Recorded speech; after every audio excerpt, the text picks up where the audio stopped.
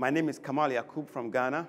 I am the CEO of Trotro Tractor Limited, an agricultural technology company that connects uh, smallholder farmers with tractor and other agricultural machinery services. Uh, the agriculture sector has um, a lot of uh, money that has not been tapped yet, untapped money in agriculture sector. And then you have not good uh, quality human capital in agriculture sector.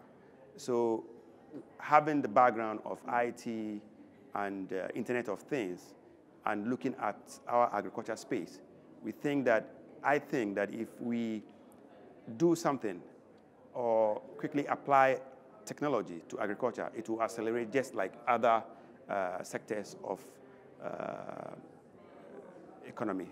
Trotro Tractor um, is simply making the supply and demand of tractors to farmers easy. Now, why I say that is because um, in villages where farmers need tractors, you find tractors in the same community, not serving farmers. And the reason is the farmer doesn't want to drive 30 minutes to go do two acres and drive 30 minutes back. Doesn't make business sense. So the only way to do that is to apply technology.